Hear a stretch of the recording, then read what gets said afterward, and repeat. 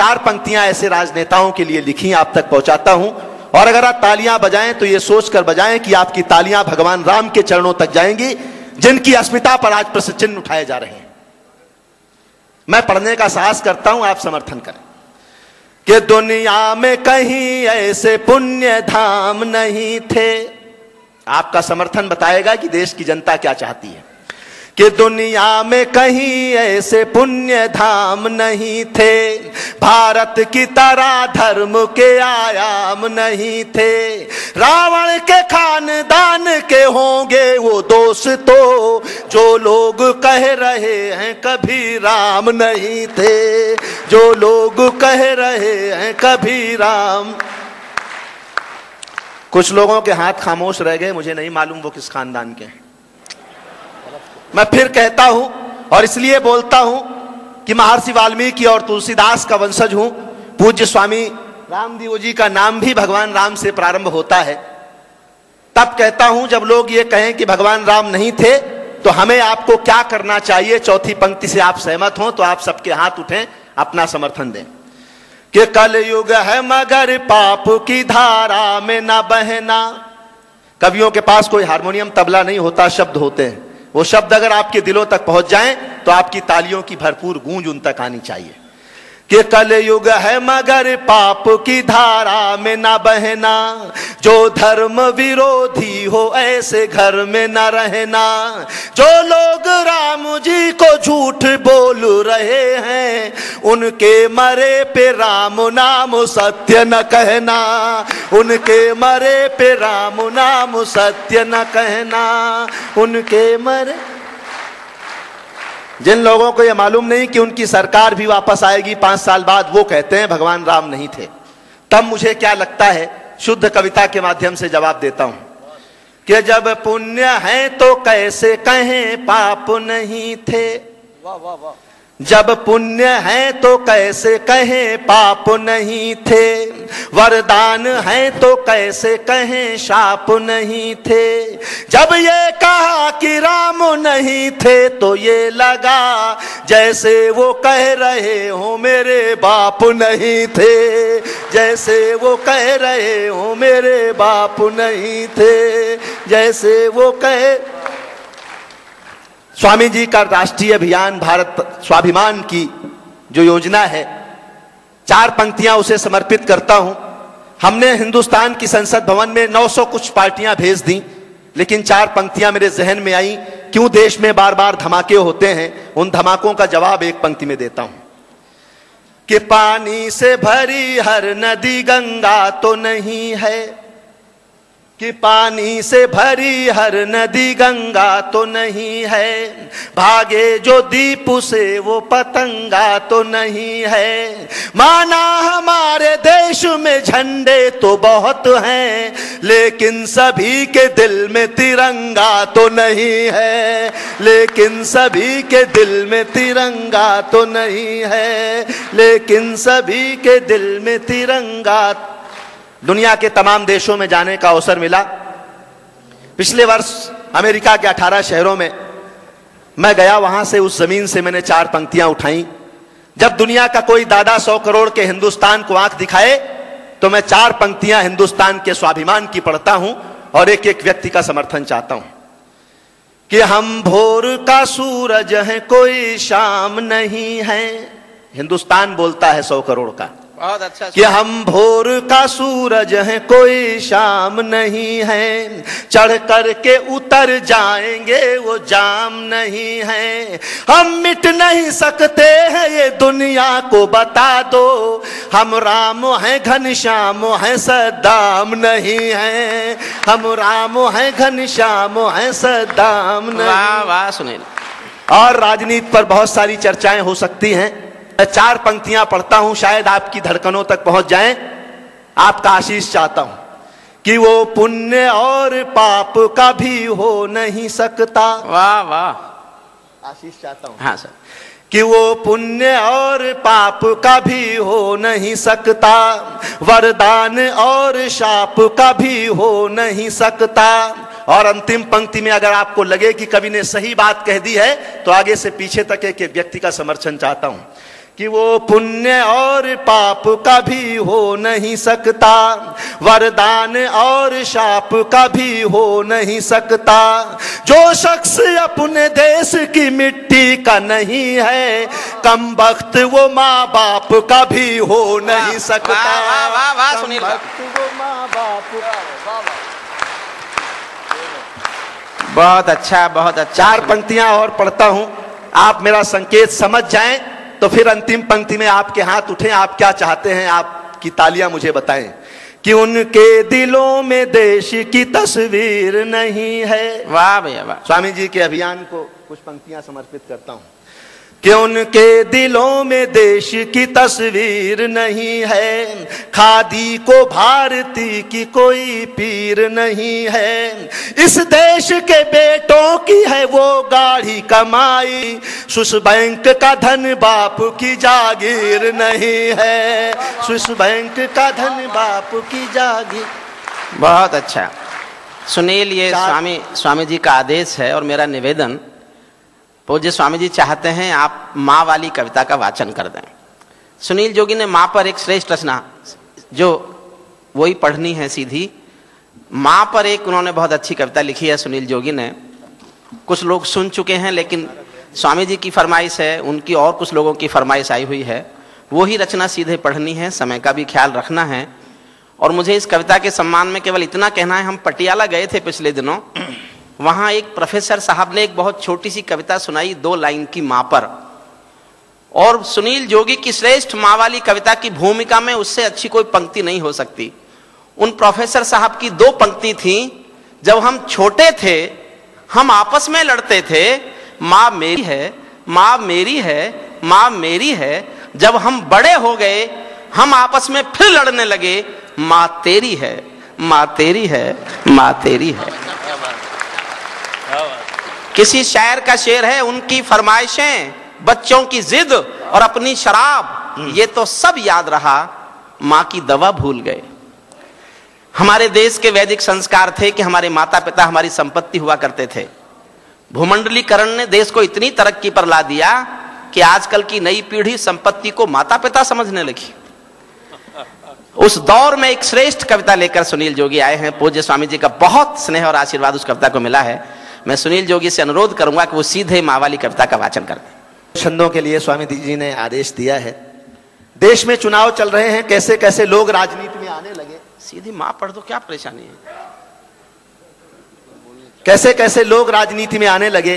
जैसा स्वामी जी ने कुछ और मुझे सुनाने को थोड़ा सा कहा मैं उसकी एक वानगी देता हूँ। हाथ से पढ़ना चाहता हूँ हाथ से। जब लोग चंबल की घाटियों से चुनकर संसद के गलियारों तक पहुँचे तो एक शुद्ध व्यंग का छंद मैंने लिखा आप तक पहुंचाता हूँ। राजनीति कहाँ तक पहुँच गई है? कहने की आवश्यकता नहीं है। एक एक शब्द पकड़े और कविता और मेरा व्यंग का तेवर आप तक पहुँच जाए तो आप बताएँ। कि कोई यहाँ डाकू लिए चाकू है लड़ाकू कोई, जीत के चुनाव नाव जैसे तन जाते हैं। बात पहुँच जाए तो आपकी तालियाँ प्रतिक्रिया भी आती रहे। कि कोई यहाँ डाकू लिए चाकू है लड़ाकू कोई? जीत के चुनाव नाव जैसे तन जाते हैं। धूल में खेले न कभी भूल से स्कूल गए। बिना पढ़े लिखे शिक्षा मंत्री बन जाते हैं। धूल में खेले न कभी भूल से स्कूल गए। बिना पढ़े लिखे शिक्षा मंत्री बन जाते हैं। मैंने कहा बीए बिना पिए रखते हैं आप। मैंने कहा, बीए बिना पिए रखते हैं आप। पिए बिना कैसे फाइलों को निपटाते हैं? और एक पंक्ति का शुद्ध व्यंग इस लोकतंत्र पर, इससे बढ़िया मैं कह नहीं सकता। पूज्य स्वामी जी के चरणों में रखता हूँ और आप तक पहुँच जाए तो कोई हाथ खामोश न रहे। कि मैंने कहा भी ये बिना पिए रखते हैं आप। पिए बिना कैसे फाइलों को निपटाते हैं? वे बोले कि, काम हम अंगूठे से चलाते हैं जी। पहले चूसते थे, अब लगाते और दिखाते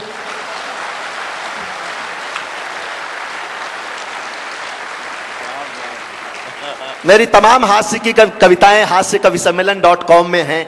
मैं सीधे सीधे माँ पढ़ता हूँ और उसकी भूमिका में एक दो मुक्तक पढ़ता हूँ। इतनी सारी बेटियाँ यहाँ बैठी हैं। मेरे घर जब एक नन्ही परी ने जन्म लिया तो चार पंक्तियाँ मैंने बेटियों के लिए कही। आपका मानस बनाने के लिए, उस कविता तक लाने के लिए मैं कुछ पंक्तियाँ पढ़ता हूँ। आपके घर आँगन से कुछ पंक्तियाँ उठाता हूँ कि मेहंदी कुमकुम रोली का त्योहार नहीं होता। इतनी बेटियाँ हैं यहाँ, माताएँ, बहनें बैठी हैं, उन सबको समर्पित करता हूँ।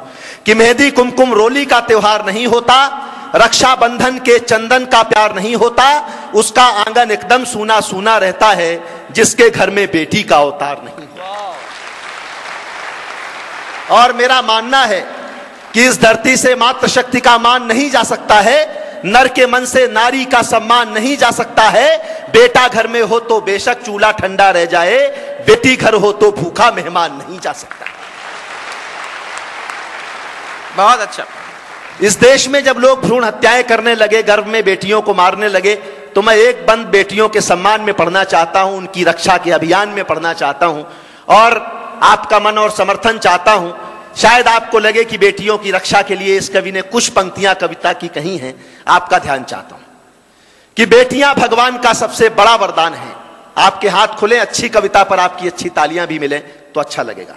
कि बेटियाँ भगवान का सबसे बड़ा वरदान है, बेटियाँ घर की पुरानी खिड़कियों को खोलती हैं, बेटियाँ घर में हो तो घर की दीवारें बोलती बेटियाँ घर की पुरानी खिड़कियों को खोलती हैं, बेटियाँ घर में हो तो घर की दीवारें बोलती हैं, बेटियों ने घर का हरदम नाम ही रोशन किया है, वक्त पर बनकर के मीरा जहर का प्याला पिया है, हाथ में तलवार लेकर लक्ष्मी बाई बनी है, इंदिरा बनकर समूचे विश्व के आगे तनी है, मदर टेरेसा बनी करुणा का सागर हो गई है, जाके नासा में सितारे आसमां में बो गई हैं, ऐस बन सौंदर्य से सारे जहाँ को जीत लाई, सानिया बन खेल के मैदान में भी खिलखिलाई, सुन लता मंगेशकर सुर के समंदर डोलते हैं, मूर्ख हैं जो बेटियों को बेटों से कम तोलते हैं। वाह भाई।